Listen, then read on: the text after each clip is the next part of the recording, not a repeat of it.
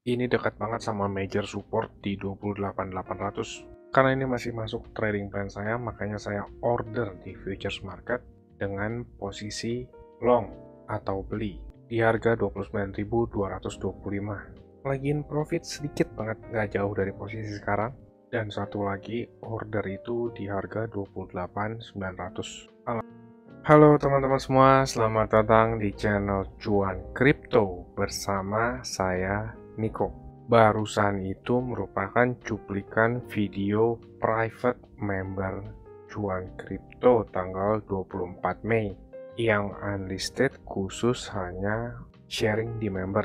Kalau teman-teman mau gabung grup kita nanti di akhir video dijelaskan ya. Dan bagi teman-teman viewer di sini, jangan lupa like dan subscribe karena itu gratis dan kalian gak ketinggalan infonya.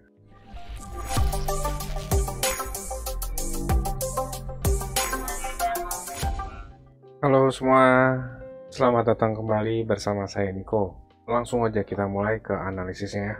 Bitcoin masih sideways banget nih, nggak banyak perubahan udah sekitar dua minggu bergeraknya di antara 28.800 sampai ke 31.000 kemarin di grup cuan kripto saya sharing update ada ambil posisi long di 29.200 dan 28.900 kejemput barusan average entry sekarang itu di 29.000 keadaannya sekarang lagi profit lumayan sekitar 60 persenan lebih.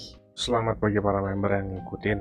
Alasan saya itu ngambil posisi long karena Bitcoin sekarang mepet banget sama major support di harga 28.800 dan posisinya kurang lebih Bitcoin itu seminggu belakangan sideways dari 28.800 sampai ke 30.500. Saya ngelihat risk reward ratio yang cukup bagus dan masuk dalam trading plan saya Justru keadaan seperti itulah yang ditunggu-tunggu para trader.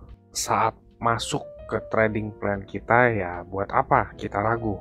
Risk reward rasionya sekitar hampir satu banding tiga. Resiko kecil tapi rewardnya besar. Ditambah lagi Bitcoin pada saat ini masih di kisaran oversold banget dari daily time frame terbentuk bullish divergence yang cukup besar momentum indikator menunjukkan penguatan, tapi struktur market malah membuat penurunan. Ini artinya seller itu sudah mulai kehilangan tenaga. Hal seperti ini juga pernah terjadi di tahun lalu, pada bulan Mei sampai Juli. Struktur marketnya turun, tapi momentum indikator makin naik. Ini disebut divergence, dan divergence yang terbentuk adalah bullish divergence untuk scalping-scalping ya oke okay banget. Ditambah lagi Bitcoin ini terpressure turunnya lumayan drastis. Kita masih belum ngeliat Bitcoin ada pantulan. Jadi harga itu nggak bergerak satu arah. Setiap terjadi penurunan atau kenaikan secara cepat pasti akan kembali ke rata-ratanya dulu. Nggak peduli trennya naik atau turun. Misalkan trennya naik, pasti akan terkoreksi dulu ke rata-rata lalu lanjut naik. Begitupun juga tren turun. Memang sekarang Bitcoin lagi downtrend, tapi saat downtrend pun kita bisa memanfaatkan koreksi naiknya untuk ditradingkan.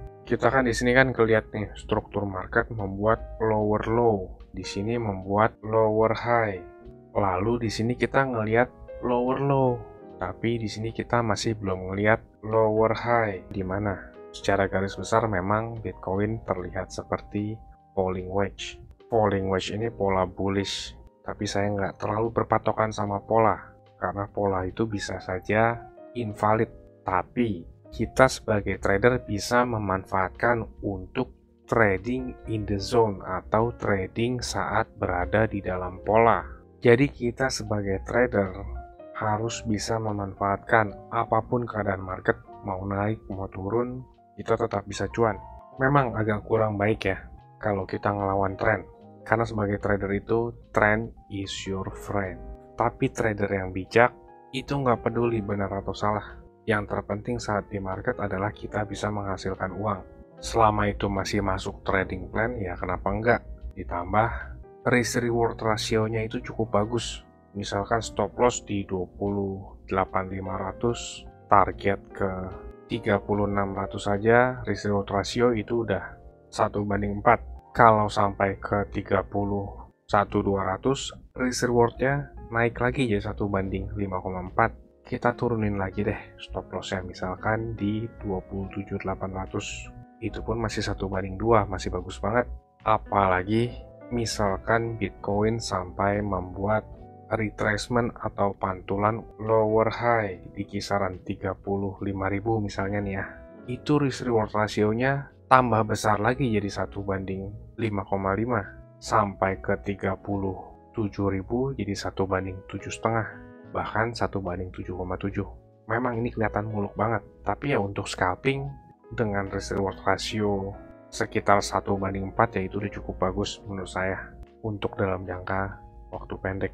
Dan alasan saya juga mengambil posisi long kemarin itu karena ini Bitcoin lumayan parah damnya. Dari harga 39.000 ke 28.000. Misalkan ternyata para whales itu udah buang barang lalu masuk ke harga support yang cukup bagus nih. Kalau dari sudut pandang whales atau para paus dengan uang yang cukup banyak ya ini kurang menguntungkan kalau didam lagi. Ditambah saat terjadi dam besar ini karena crashnya Luna dan UST para retail itu banyak yang hilang uangnya karena terlikuidasi dan banyak juga yang nyangkut uangnya.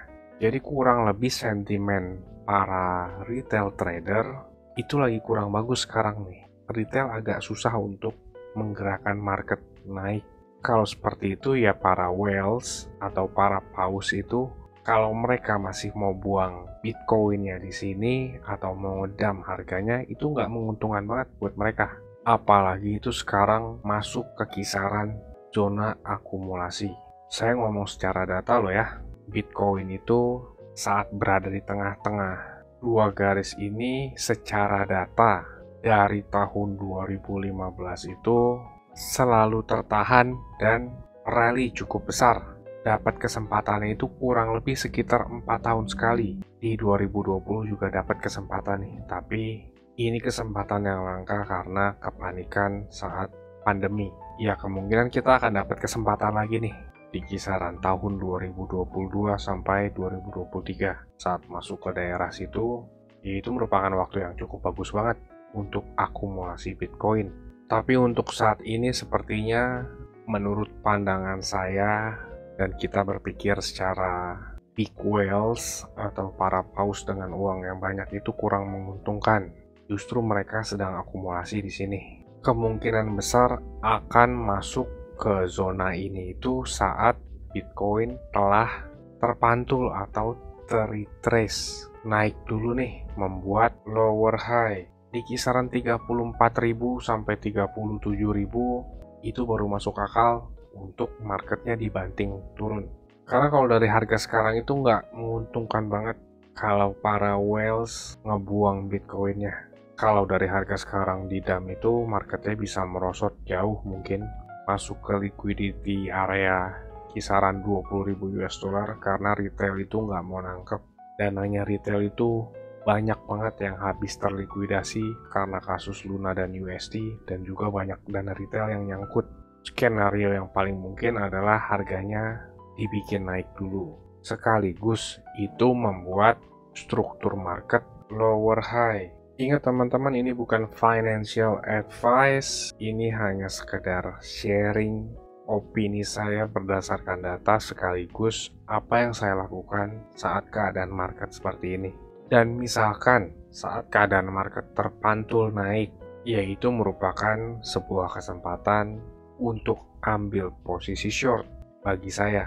Tapi tergantung juga price actionnya itu bagaimana. Kalau nunjukin tanda-tanda perlemahan, dan marketnya udah mulai ngos-ngosan ya saya akan masuk untuk ambil posisi short apa pun keadaan marketnya mau naik mau turun kita sebagai trader harus pintar-pintar deh ngambil peluang dan saat sebelum mengambil keputusan untuk masuk market kita juga harus ngelihat data sekaligus apakah setup kita itu bagus risk reward rasionya. Istilahnya ya masuk gak ke trading plan kita? Di mana kita harus entry, di mana kita harus exit, dan di mana kita harus taruh stop loss. Jadi kurang lebih seperti itu update-nya. Untuk koin lain ada di grup dan untuk update terdepan sekaligus saya sharing di mana saya beli atau di mana saya jual itu semua saya sharing di grup telegram kita bagi teman-teman yang minat gabung ke telegram teman-teman bisa tonton klip video berikut ini saya tunggu di grup ya saya mau kasih tahu juga, cuan kripto ini ada grup Telegram dan juga udah cukup banyak juga aktif membernya. Keuntungan yang didapat yaitu teman-teman sekalian waktunya efisien, nggak pusing buat analisa chart, apalagi yang belum ngerti. Yang kedua, update terdepan, karena saya lebih sering update dan aktif di grup tersebut ya. Yang ketiga, teman-teman sekalian dikasih tahu kapan waktu terbaik untuk beli koin, dan itu biasanya barengan saat saya juga beli koin. Yang keempat ada diskusi grup chat buat ngobrol sesama member, saling kenal, dan tanya jawab. Dan yang terakhir, teman-teman bisa request koin untuk dianalisa. Ini grupnya nggak gratis ya teman-teman, tapi tenang harganya murah kok. Yaitu Rp199.000.